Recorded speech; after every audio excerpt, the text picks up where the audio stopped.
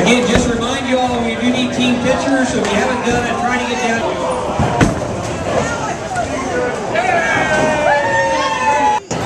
Awesome!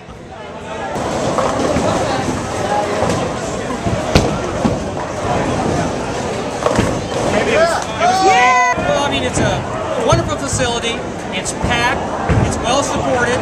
It's going to a great cause with the EDC Blue Springs Education Foundation. So a lot of good benefit goes to the city of Blue Springs.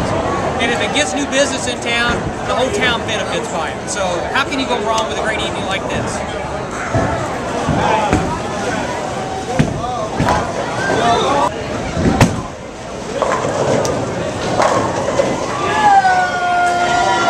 The turnout's been great. Uh, very happy with the turnout. They've got you know a full 32 teams. Uh, it's going to be great for the uh, EDC and the uh, Blue Springs Education Foundation.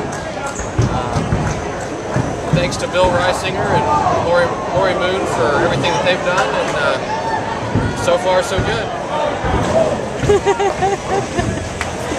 It's going on our website. Okay.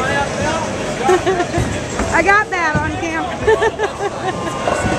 it will be online.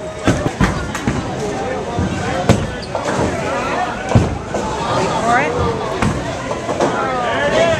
A wonderful event tonight. Uh, it's just a wonderful turnout here, and I appreciate all the support from the community to come out and uh, help support the EDC and the Educational Foundation.